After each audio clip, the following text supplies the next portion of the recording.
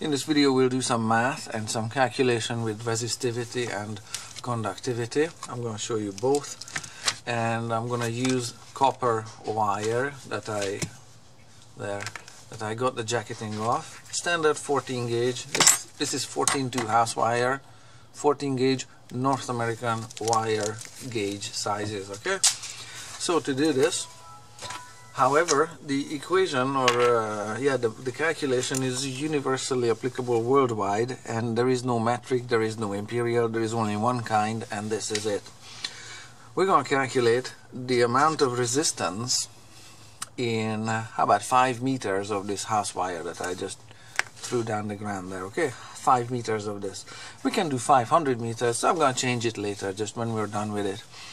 Resistance can be calculated as well as measured, but we're going to calculate, like I said, because resistance is directly proportionate with rho. Rho is the resistivity number, and it's coming out of, you know, these uh, exponent numbers with those negative 8 whatever uh, powers. Uh, directly proportional with resistivity and also and also length and inversely proportionate to the area of that's not amps that's area area of its cross section. So we're going to calculate the cross section of a copper wire and for that reason I have here a handy dandy uh, metric caliper. I'll just pick a spot where the wire is straight neither stretched out nor compressed. And if I take a reading on this one this is gonna be one point. Just wait for the camera. We'll go with 1.6 how about that? 1.6 millimeters for diameter. Let me just do this mini calculation here in black for area. So that diameter is 1.6 millimeters. And we need it. So for area I'm gonna use r square pi so I need radius. So that would be 0.8 millimeters. And that's nice but I need everything in meters. Length will be in meters. Area will be in square meters. And that resistivity is ohm meters. Okay so everything has the same unit. It's uniform okay? So this 0.8 millimeters is in meters. 0. Point, say, tens, hundreds, thousands, ten thousands, that many meters. Okay, if I square it and pi it, let me just go three zeros and then 8 square it times pi equals that number for the area of the cross-sectional area of this wire so I've got area equals yeah, yeah, that's a complicated number. One, two, three, four, five, six, five, two, oh, one meters squared. Now that's a cutesy number or a horrible one, depending on how you look at life.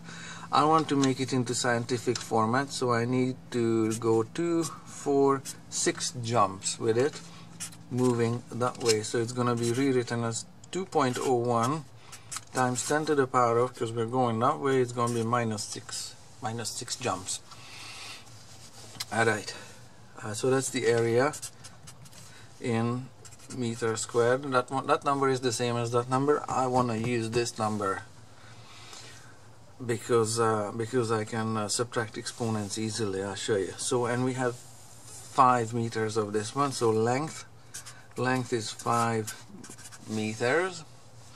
So length needs to be multiplied with resistivity. Resistivity is I'm gonna write it here for the copper is 1 point what was it? 1.68 let me see copper 1.68 10 minus 8 1.68 10 minus 8 ohm meters. That, that's a little lame omega but there there's the number. Okay so that's resistivity. So this number needs to be multiplied with that one and divided by that one. That's what this formula says so I'm gonna rewrite them or write them this way. 5 times so there's the 5 the length. This times this is the same as this times that it doesn't matter. Yes? 5 times 1.68 times. 10 to the power of negative 8 divided by that number. 2.01 times 10 to the power of negative 6 alright I wrote it intentionally in this way so I can multiply these two guys and divide them by the third one there first and then and then I can do those ones in a sec so on a calculator I'm gonna go 5 times 1.68 divided by 2.01 equals that number 4.18 can I just go 4.18 okay 4.18 times 10 to the power of minus 8 minus minus 6 because a division is a subtraction for the exponent uh, figures. So I have a hmm, minus 8 minus minus 6 equals that's uh, that minus minus 6 is a plus 6 so we have a minus 8 plus 6 which is gonna equal to a minus 2 when we are done with it so that many ohms is the resistance of 5 meters of this 14 gauge house wire. When you have a 5 meter length of it and you plug an ohm meter uh, one lead to one end and the other lead to the other end and you measure resistance it's gonna be you're gonna be seeing that number or well actually on your display this is how it's gonna look like because that minus 2 means you're going two spots this way to the decimal dot. So we can also let me see that one is zero there. There same thing. If you see this number on your display 0.0418 ohms probably you only have two or three digits on an ohm meter anyhow. You've got to be seeing that number. Now and of course if you have 500 I'm just going to change it to 500 meters there. Then it's gonna be 500 there. And then it's gonna be instead of negative 2 it's just gonna be to the power of 0 and it's just gonna be 4.18 ohms. So if you have half a kilometer of this copper wire at room temperature or at 20 degrees 20 degrees yes. Not at 40 or 60 or any other or 0 or minus 20 at 20 degrees room temperature you're gonna have 4.18 ohms on half a kilometer of this stuff for resistance. Now conductivity on the other side here is calculated extremely similarly because the formula for that one is conductivity is marked with the letter G and it goes you have to multiply conductivity figure sigma with the area of the wire and divide it by length. Okay so there's your there's your uh, and your answers will be Siemens instead of ohms. So to do the same calculation we've got the reciprocal of 1.68 times 10 to the power of minus 8 is that number 5.96 so 5.96 times 10 7 times area which would be 2.01 times what was it 10 minus 6 gets divided by the length 5 okay sorry we ran out of the viewing uh, field there but I wrote the area in its scientific format this way that I took it apart because because it's the same thing if you write it this way or the amounts to be multiplied you can write them in any order but I like this order here so I want to multiply these two fellas and divide by that one guy there.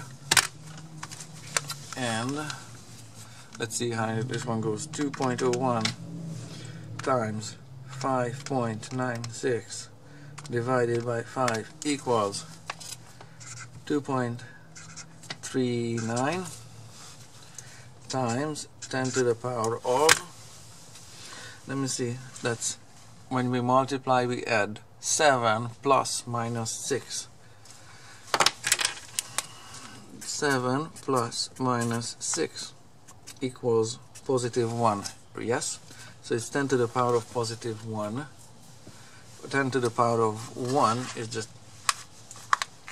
is just 10 so this number is 23.9 Siemens okay and that's the end of the calculation there that's the final answer for the G number for for conductivity. And for for uh, yeah with conductivity and for resistance it's uh, it was this ohm number. There's also one more equation. These two numbers are reciprocals of each other. So if I enter this number in its reciprocal formula that is 1 over 23.9 into the calculator. Let's see what I let's see what I get out of this one.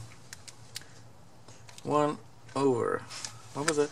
23.9 equals we are back to the 0 0.0418 this one 0.0418 what a coincidence. No it ain't so that's how these work exactly. So if you have one result you can calculate the other by doing a reciprocal calculation okay? So you don't have to do a lengthy multiplication involving exponents and whatnot. Because the third relation had these two things how resistance and conductance or resistivity and conductivity relate to each other is uh, is that uh, what is it? Uh, what color? I'm gonna go with this color. Ah, I'm gonna go with this color. That resistivity that's rho equals 1 over sigma. Alright and consequently sigma equals 1 over rho. Alright so you can take these numbers and uh, and uh, do the reciprocals of them and you can calculate one from the other fairly easily. This is what it takes. You have to be really fluent with scientific notation and these uh, exponents you know dividing and multiplying it's not rocket science. This is first year electrician apprentice stuff